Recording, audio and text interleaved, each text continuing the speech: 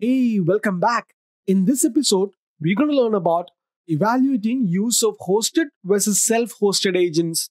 Within this, we will learn about Microsoft versus self-hosted agents and agents pools, etc.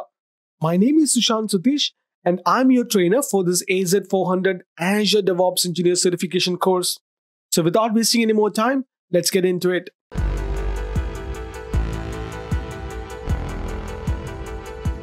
So let's look into Microsoft versus self-hosted agents. To build your code or deploy your software, you need at least one agent. As you add more code and people, you will eventually need more. When your build or deployment runs, the system begins one or more jobs. An agent is installable software that runs one build or deployment job at a time. Now let us look into the two types of agents, Microsoft hosted agents and self-hosted agents. So what is this Microsoft hosted agents? If your pipeline are in Azure pipelines, then you have got a convenient option to build and deploy using Microsoft hosted agent. With Microsoft hosted agents, maintenance and upgrades are taken care for you. Each time you run a pipeline, you get a fresh virtual machine. The virtual machine is discarded after one use. For many teams, this is the simplest way to build and deploy. And you can try it first and see it if it works for your build or deployment. If not, you can use a self-hosted agent. So what is self-hosted agents? An agent that you set up and manage on your own to run build and deployment jobs is a self-hosted agent. You can use self-hosted agents in Azure pipelines and self-hosted agents give you more control to install dependent software needed for your builds and deployments. You can install the agent on Linux, Mac OS, and Windows machines. You can also install an agent on a Linux Docker container. After you have installed the agent on a machine, you can install any other software on that machine as required by your build or deployment jobs. Now let us look into agent pools. So what is an agent pool? Instead of managing each agent individually, you organize agents into agent pools. An agent pool defines the sharing boundary for all agents in that pool. In Azure pipelines, agent pools are scoped to the Azure DevOps organization. So you can share an agent pool across projects. A project agent pool provides access to an organization agent pool.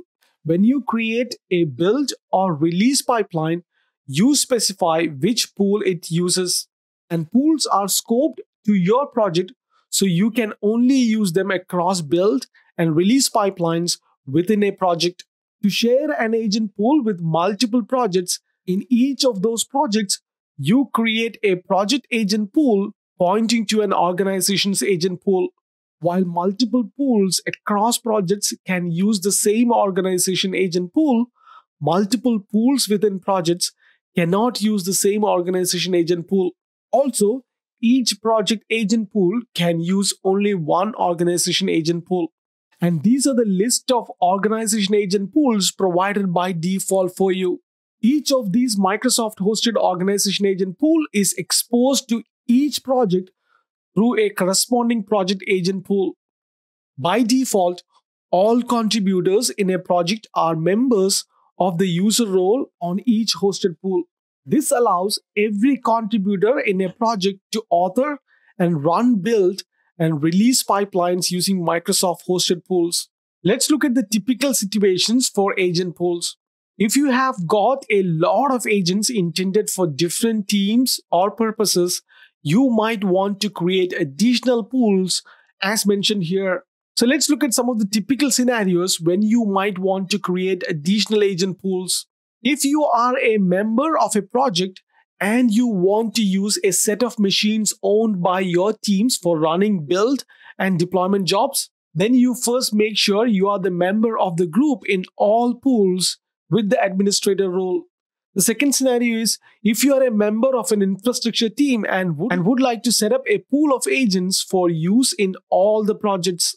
And third scenario is you want to share a set of agent mechanisms with multiple projects but not all of them.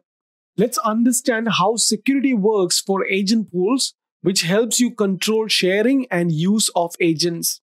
In Azure Pipeline, roles are defined on each agent pool, and membership in these roles governs what operations you can perform on an agent pool. The first one is reader. Members of this role can view the organization agent pool as well as agents. You typically use this to add operators that are responsible for monitoring the agent and their health. The second role is service account. Members of this role can use the organization agent pool to create a project agent pool in a project. And the third one is administrator. In addition to all the above permissions, members of this role can register and unregister agents from the organization's agent pool. They can also refer to the organization's agent pool when creating a project agent pool in a project. All right, so that concludes this lesson. In the next episode, we're going to learn about pipelines and concurrency.